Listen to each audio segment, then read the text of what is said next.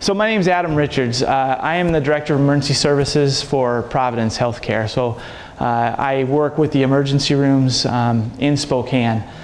Uh, I'm also a member of the Healthcare Coalition in our, we're, we're blessed, is it, oh it worked. Was that you or me?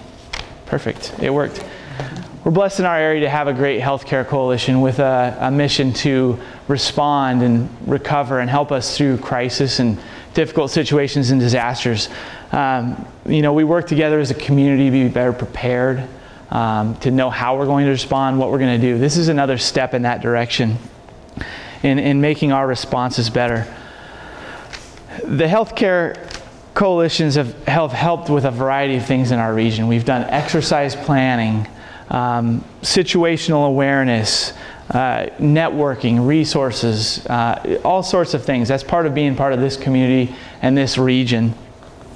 Geographically, if you look at our region, Region 9, the light colored region on your, your right there, the East Region number 9, uh, the county consists of, uh, ten, or the, the region consists of nine counties, or 10 counties, excuse me, three tribes.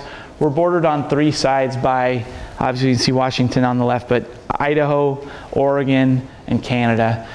The rough geographic size of, the, of this region is about a third of the state of Washington. So our geography is fairly complex. We cover a lot of area, which makes this all the more challenging. And we kind of think about why, you know, why crisis standards of care? Why a healthcare coalition? Why do we do all this organizing and planning in our region?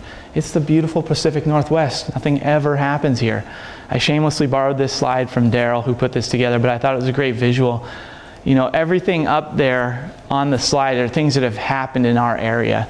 You know, some of the pictures may not exactly represent uh, Spokane or our area, you know, that, that slide of the freeway. We're not quite 10 lanes wide, but we have I-90 that runs through our area. Um, you can see the fires. We had the firestorm.